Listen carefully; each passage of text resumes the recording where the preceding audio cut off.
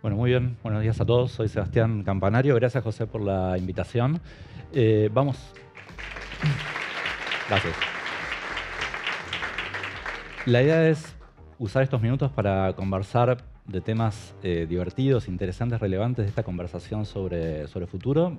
estamos viendo una especie de presente en ciencia ficción y arranco contándoles que el fin de semana mi hijo del medio me pidió ver Hombres de Enero 3, no sé si alguno la vio ya en, el cine, la están dando.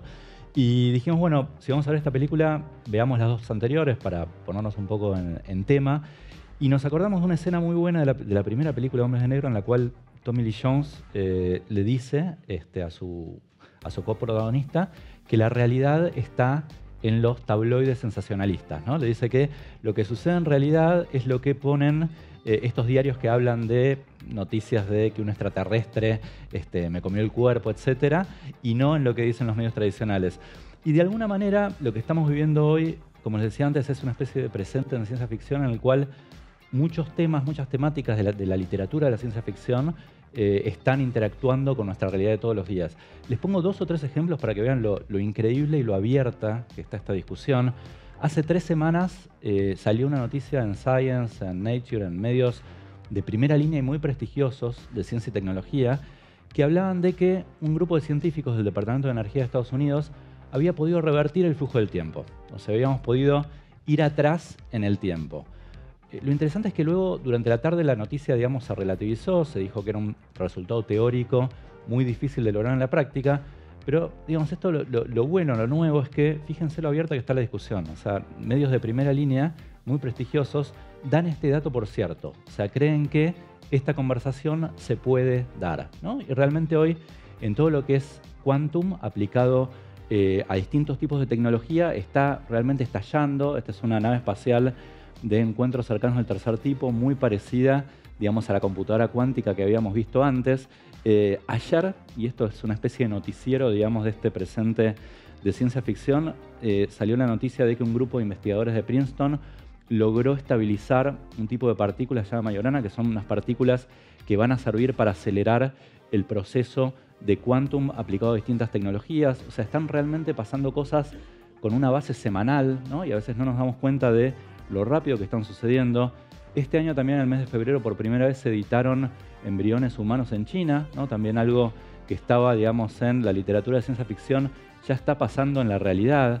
Eh, hace tres semanas, por primera vez, una célula de un mamut descubierto en el permahielo siberiano, un mamut de 28.000 años, por primera vez pudo ser revivida la célula, con lo cual estamos más cerca de lograr este, volver a tener animales extintos entre nosotros, ¿no? Es un paso más hacia ese momento que también parece de ciencia ficción. Una breve referencia a lo que está sucediendo este año con el tema de inteligencia artificial, que es otra enorme avenida de cambio, digamos que a veces también uno no tiene conciencia, digamos, del nivel de impacto que está teniendo, eh, que tiene una historia reciente interesante que se puede contar a partir de los juegos en la cual la máquina nos fue ganando a los humanos, ¿no? Hace un par de años recuerdan que se cumplieron 20 años del triunfo de, de la Deep Blue, la computadora IBM, sobre Gary Kasparov. Más adelante en el tiempo, la máquina nos pudo ganar al Go. El año pasado, el mismo algoritmo que había logrado vencer al humano pudo vencer a la mejor versión anterior de la máquina sin un solo, eh, una sola partida como insight de aprendizaje. Eh, este logro fue hecho por un algoritmo que se bautizó AlphaGo 0. El gran avance de los últimos dos meses tiene que ver con que este tipo de empresa ya está logrando derrotar a los mejores jugadores del mundo en distintos tipos de videogames, de estrategia de guerra. Tienen hijos que juegan al Fortnite, ¿sí? es difícil sacarlos de la computadora. Este juego es muy parecido, se llama StarCraft. Y uno lo que no sabe es que cuando uno juega un videogame de estrategia de guerra, toma decenas de decisiones en cada segundo. La primera decisión es dónde focalizar la atención, en un proceso que es mucho más parecido a la toma de decisiones de todos los días en una empresa o en vida cotidiana. ¿no? Son decisiones que no se pueden evaluar en el instante, que en el acumulado dan un resultado varias iteraciones después, con lo cual ya estamos en un tipo de pensamiento logrado por la inteligencia artificial que se acerca más a los tipos de árboles de decisiones que tomamos todos los días. Ustedes pueden pensar en esta, en esta discusión de futuro, de innovación, hay mucho humo, ¿no? a veces se nos acusa eh, de que hay demasiado humo, así que yo dije, bueno, es eh, pertinente hablarles de Chernobyl, ¿no? por el humo de las, de las torres. Vieron la serie, está muy de moda, eh, es una de las series de moda. Y en la serie hay un, este, un científico, se llama Legasov, eh, que a mí me hace acordar mucho a un economista que ganó el Premio Nobel de Economía en la década del 70, que se llama Leonid Kantarovich, un economista ruso. Eh, Kantarovich es el padre de la programación lineal, es una persona que estuvo durante años en la década del 70 tratando de ver cuál era el precio ideal del acero ¿no? Eh, para lograr que la planificación soviética fuera sostenible. No lo logró porque en los 70 no había capacidad computacional para resolver este tipo digamos, de árboles de ecuaciones. Lo que está logrando la inteligencia artificial en Machine Learning ahora es hacer factible la programación lineal y la planificación centralizada. Entonces hay toda, digamos, un cúmulo de investigaciones que vienen sobre todo de China, de Rusia, de algunos otros países, que nos hablan de cómo la inteligencia artificial va a permitir modelos híbridos entre libre mercado y planificación centralizada, que nos parecen una locura, digamos, en el mundo occidental, pero que son más eficientes que cualquiera de las dos puntas. Esto es para que vean cómo la inteligencia artificial está también teniendo un impacto enorme en la discusión de economía política, ¿no? que esto es algo relativamente nuevo en esta, este, en esta agenda. Hay un, escritor chino eh, que habla de lo ultra irreal. ¿no? Lo que dice es que lo que está pasando hoy en día, en este presente de ciencia ficción, es algo que podría describirse como una ultra irrealidad. Hicimos una nota eh, en Alter Eco hace poco hablando de este tema. Y voy a contarles un poco la conclusión de esta charla basada en un par de películas de un director de cine muy bueno, me gusta mucho, que es Ridley Scott, que tiene un montón de películas, pero hay dos que me parece que tienen una temática que es eh, relevante para, esta discusión. ¿Vieron Telma y Luis? ¿Se acuerdan de la última escena de Telma y Luis? Cuando ellas dos se agarran de la mano, digamos, cierran los ojos y aceleran hacia el precipicio.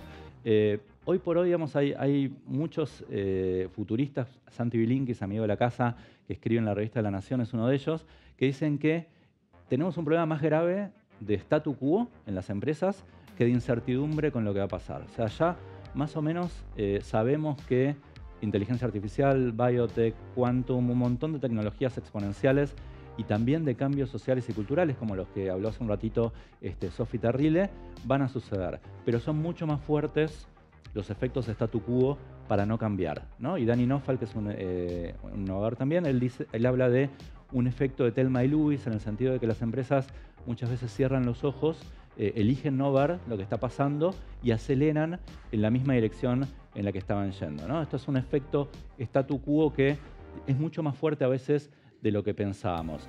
Falta poco para la comida, están hace mucho tiempo con innovación, este, con la atención puesta. Tengo un truco para recapturar su atención. ¿Saben cuál es?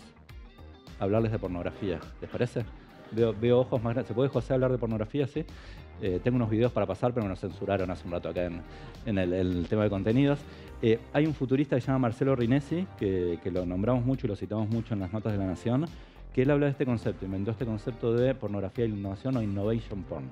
¿Por qué él dice esto? Él dice que muchas empresas lo que hacen es tomar la parte espectacular de la innovación, ¿no? O sea, empezar a tildar aquellos casilleros que hablan de una espectacularidad, eh, que hablan de un fenómeno que está guionado. ¿no? Muchas empresas creen que, eh, de alguna manera, para paliar la incertidumbre de la crisis macro, se puede introducir un proceso de innovación, cuando eso en realidad amplifica la incertidumbre. ¿no? Por definición, cualquier proceso de innovación aumenta, digamos, el rango de incertidumbre. Está influenciada por estereotipos, tiene una mirada acotada, digamos, hay muchas eh, cuestiones en común entre este, lo que hacen muchas empresas con temas de innovación y lo que es el fenómeno de la pornografía. ¿no? Son empresas que hacen como que cambian, pero no lo hacen realmente.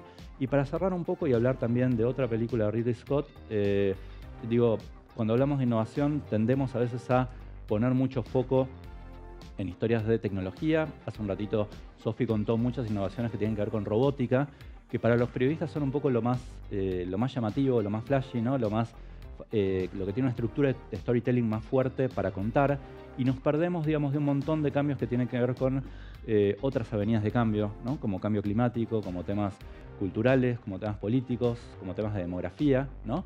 Eh, que a veces tienen una dinámica de modificación y de cambio tan exponencial como los de las tecnologías que estuvimos viendo. ¿no? Kate Crawford, que es una programadora que trabaja en un instituto de Microsoft, es una programadora australiana, justamente habla de estos cuatro huracanes de cambio, ¿no? y uno puede agregar muchos más pero uno ve que en temas de género, de nuestra relación con el trabajo, de temas de vida saludable, de conciencia ambiental, estamos teniendo, digamos, patrones exponenciales o de crecimiento vertical tan impactantes como en algunas tecnologías. ¿no? Yo acabo de sacar Paso al Chivo, el libro hace dos semanas, Revolución Senior, que justamente habla, hace foco en estos cambios demográficos. ¿no? Los cambios demográficos son los más fáciles de predecir de todas estas avenidas de cambio y sin embargo, aunque son relativamente fáciles de predecir, digamos, ni las empresas, ni los gobiernos, ni las sociedades están tomando las medidas que deberían tomar para este cambio.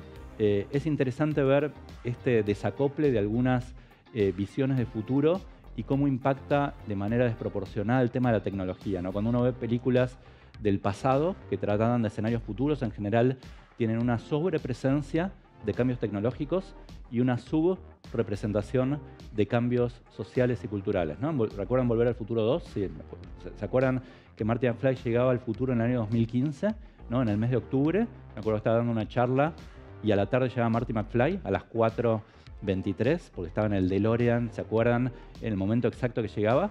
Y él llegaba a un mundo lleno de vehículos voladores, de hoverboards, de zapatillas que se ataban solas, pero en ese mundo no había eh, personas del mismo sexo caminando por la calle, digamos, no había una representación de los cambios sociales que se dieron en este año. La película 2001 dice el espacio de Kubrick, Kubrick la hace en el 69 eh, y ve un futuro lleno de naves espaciales, pero las mujeres en esa película solamente eran secretarias, azafatas o asistentes. O sea, Kubrick no ve la revolución de género de la década del 70. Y lo más gracioso, están todos fumando, están dentro de la nave espacial, todos ceniceros por todos lados.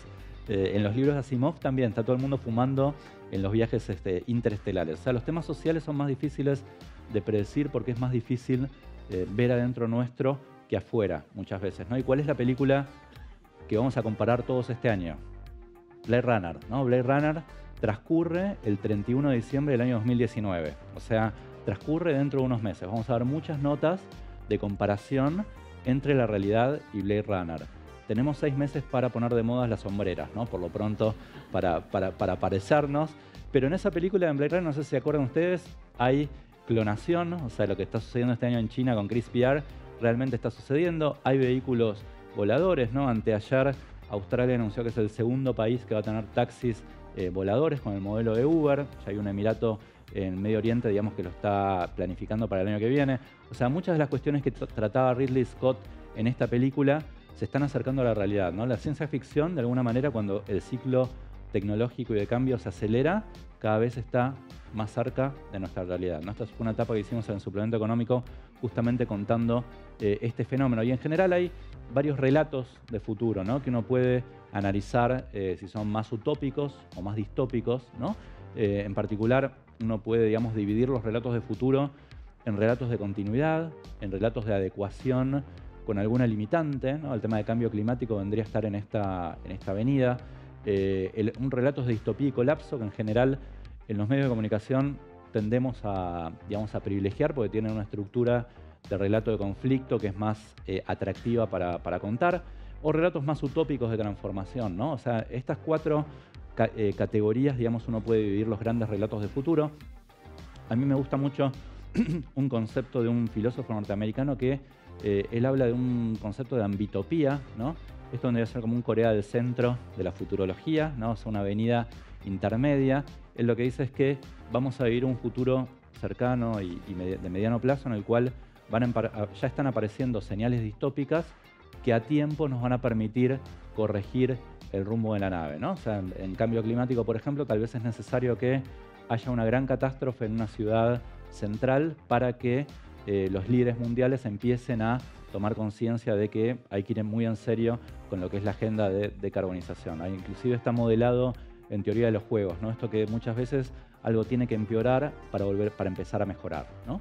Eh, y en particular, eh, justo anteayer empecé a leer este libro, se los comento, se los recomiendo. Es el último libro de Jared Diamond, que es un gran escritor de temas de no ficción. Se llama Upheaval. Probablemente en dos o tres semanas lo comentemos en, la columna Alter Eco en, La Nación. Eh, y él habla justamente, digamos, de casos de países como Japón, como Chile, como Australia, casos exitosos que estuvieron en momentos muy malos, o sea, en momentos de eh, mucha, eh, muy malos a nivel económico, a nivel político, y pudieron pegar, pegar la vuelta, ¿no? tuvieron un turning point y empezaron a tener una historia muchísimo más exitosa. Este libro van a escuchar muchísimo en los próximos meses porque marida muy bien, digamos, la temática con los tiempos que vivimos a nivel político y económico. Muchísimas gracias por la atención.